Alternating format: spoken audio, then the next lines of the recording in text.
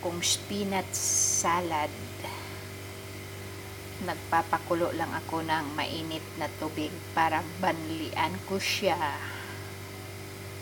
Hindi ko siya ilulutuin ng cook the cook. Ihap cook ko lang siya para gawin kong salad.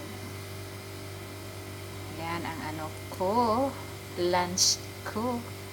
Spinach salad. Mga kabayan, alam nyo ba to? Spinach in Arabic. Sabanak po yan sa Arabic.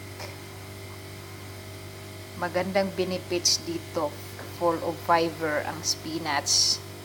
Maganda to sa mga hindi nakakaano, nahirapang dumumi. Ito ang solusyon nyo dyan.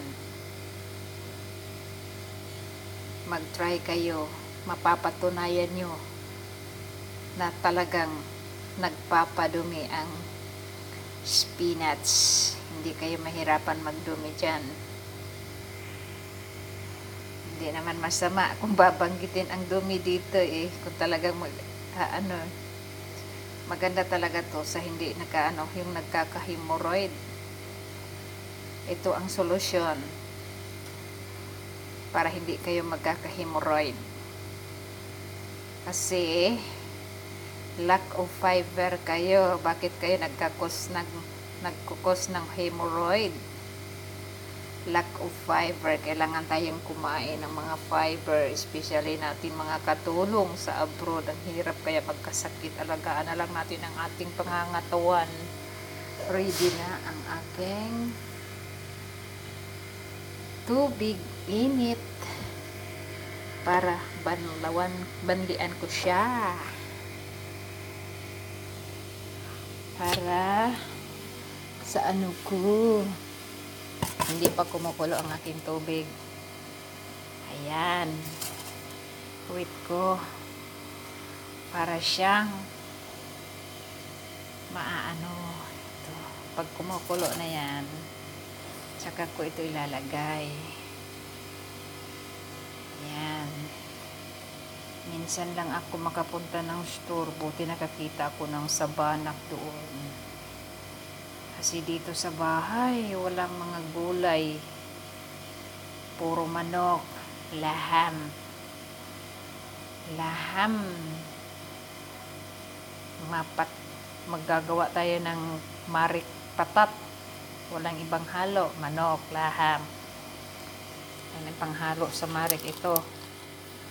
Mag-ano naman ako sa katawan ko. Mag-aalaga ako sa aking katawan. Di bumili ako ng spinach. Ayan. Para maalagaan ko ang aking health. Yan ha. Binabandian ko siya. Para gagawin kong salad. Palambutin ko lang siya. Mahirap naman kakainin tong ano hindi to dadaan sa init. Ayan didaan natin sa init. Para ano yan din ang ano ko panghalo. Ayan. Ayan na luluto na yan. Tapos aanuhin ko yan Ayan. Kulang pa ng kaunti. Hindi pa yan. Little, little. Need ko pa ng kaunting. Ano. Masarap din ang tubig nito eh. Pwede ko rin ito mamayang inumin. Nandyan yung sustansya eh. Para walang sayang na itapon. inumin na lang pa palamigin ang tubig. Pwede yan. Parang malunggay ang sabaw eh.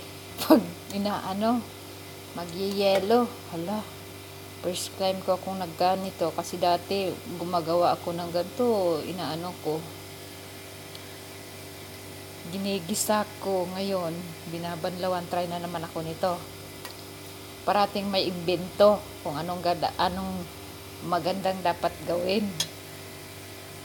Ayan. Medyo Cook-cook na. Ito. Anuhin ko naman. Hanguin ko na sa to, sa ano. Para anuhin ko. Hanguin ko to. Hanguin ko siya. Try lang. Try lang ako.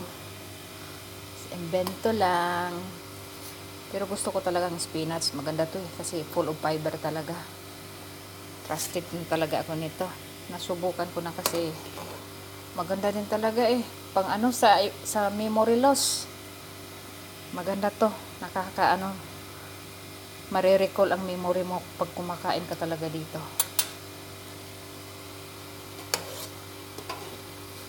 Tayo ng matan, mga matatanda, medyo nakakalimutin, makakalimutin na. Ayan.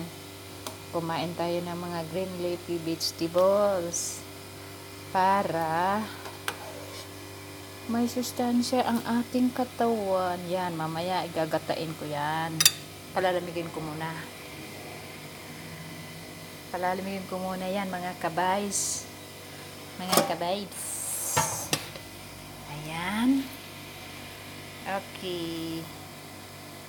Bye. Please like and subscribe my channel. Click the bell button so you can update my next video. Bye.